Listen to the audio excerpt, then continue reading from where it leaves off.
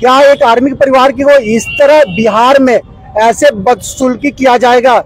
मनीष के परिवार सपोर्ट मत कीजिए। एक आर्मी के परिवार सपोर्ट कीजिए। सर, आप लोग क्या बता के भेजा जा रहा है कि आप लोग खाली हाथ आ रहा है? अरे भैया, अगर मनीष का सबको लाने में कॉस्टिंग लग रही है, आप बोल दीजिए ना, एक आर्मी परिवार है। चंदा लेकर नहीं होगा तो अपने खुद से नहीं होगा, चंदा लेकर ले लेगा। हमारे इतने भाई लोग हैं कभी बोलते हैं व्यूअरशिप उसका ज़्यादा है, कभी बोलते हैं उसका फॉलोअर्स के ज़्यादा है। क्या मनीष कश्यप प्रधानमंत्री ज़्यादा हो गया? मुख्यमंत्री ज़्यादा बड़ा हो गया? एक माँ वेट करिए कम से कम। हमको ये नहीं पता कि हाँ यहाँ पे कितने दिन के रखा जाएगा। लेकिन माँ वेट करिए हाँ यहाँ पे आएगा तो एक दिन के लिए चाहिए एक घंटे के लिए चाहिए एक मिनट के लिए, चाहे एक सेकंड के लिए, उसके आँखों के सामने रहेगा।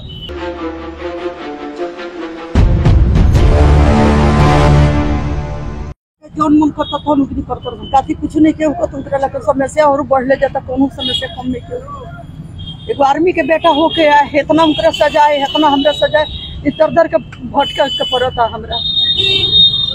कई बार डेट मिल चुका बहुत बार डेट मिलल है डेट पर लिया उसे नहीं खलसन कौन कुछ कारण बताओ गए लेकिन कारण तो हम नहीं जाने जे का कारण बाटे वो का, का कारण बा जेल में रखे के चलते वो नहीं खलसन लिया तो फिर ये बात बाटे। मैं आप मैं आपसे आप लोगों से एक चीज़ पूछना चाह रहा हूँ कि एक आर्मी की पत्नी है हमारा दे, हमारे देश के प्रधानमंत्री से लेके गृह मंत्री से लेकर हर राज्य के मुख्यमंत्री बोलते हैं कि आर्मी के स्वाभिमान के लिए क्या क्या पोस्ट करते हैं क्या क्या चीज़ें बोल रहे हैं। एक आर्मी की पत्नी भटक रही है। कल से मैं भी नहीं रहूँगा। मेरी मम्मी कहाँ कहाँ भटकेगी भाई चौथा डेट रहा मनीष को रिप्रेजेंट करने के लिए।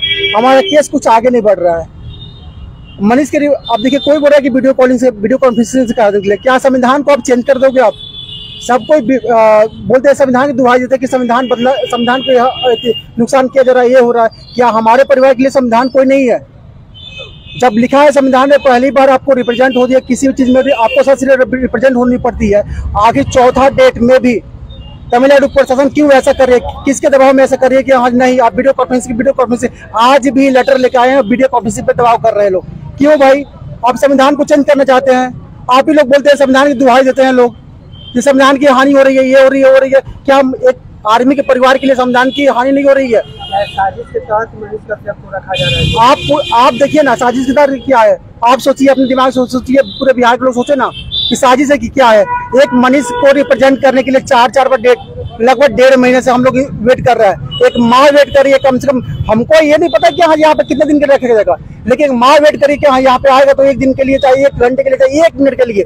एक सेकंड के लिए, उसके आँखों के सामने रहेगा। क्या एक आर्मी परिवार की को इस तरह बिहार में ऐसे बदसुल्की किया जाएगा? क्या संविधान की यहाँ पे हत्या हो रही है कि नहीं?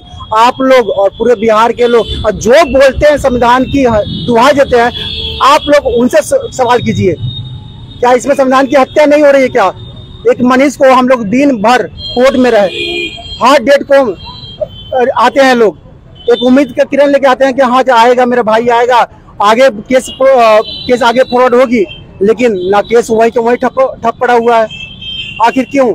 मनीष को कितने सालों तक आप लोग प्लानिंग कर रहे हैं क्या रखने के लिए? कितने सालों, क्यों नहीं केस को आगे बढ़ाया जा रहा है? क्यों मनीष को रिप्रेजेंट क्यों नहीं किया जा रहा है? सवाल बहुत हो है, लेकिन प्लीज़ एक आर्मी, आप लोग भी बोलते हो, जय जवान, जय किसान बोलते हो। एक जवान की पत्नी है एक जवान के बेटा है। आप भी इस चीज़ पे आवाज़ उठाइए। चलिए मनभेद होती रहती है, सबसे मनभेद होती है, लेकिन मत मतभेद मत कीजिए लोग। प्लीज़, मनीष के परिवार को सपोर्ट कीजिए।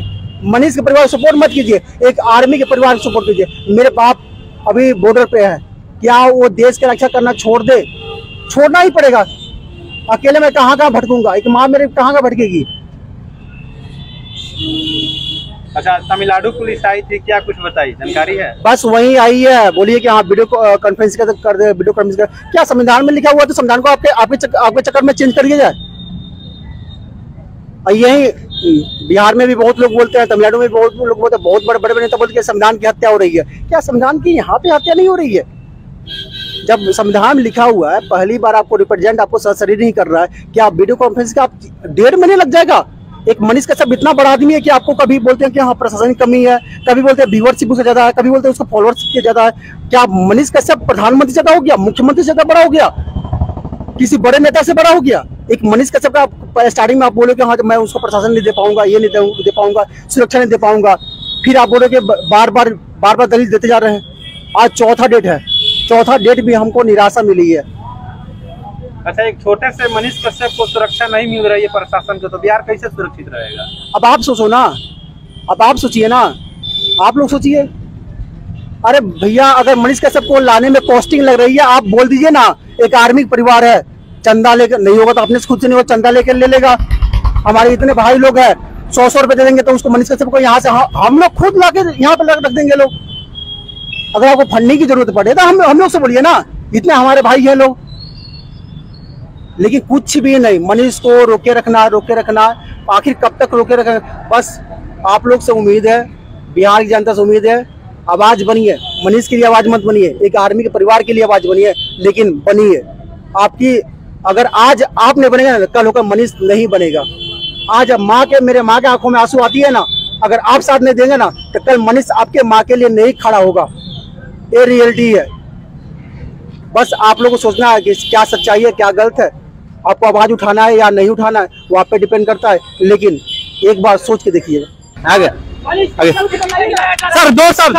दो शब्द लोग बता सकते प्लीज़ सर दो बार से आप लोग खाली हाथ आ रहे हैं। सर दो बार से खाली हाथ। पिछला डेट भी खाली गया अभी भी खाली है। देखिए ये तमिलनाडु के दो पुलिस आए हुए हैं और खाली हाथ आए और खाली हाथ जा रहे हैं। और ये लोग आरोप लगा रहे हैं कि अब तक खाना भी हम लोग को नहीं मिला है। अब सोचिए कि सरकार इन लोगों सर कुछ तो कहिए। ऐसा क्यों आपको क्या बताकर ऐसा भेजा जा रहा है? बताइए।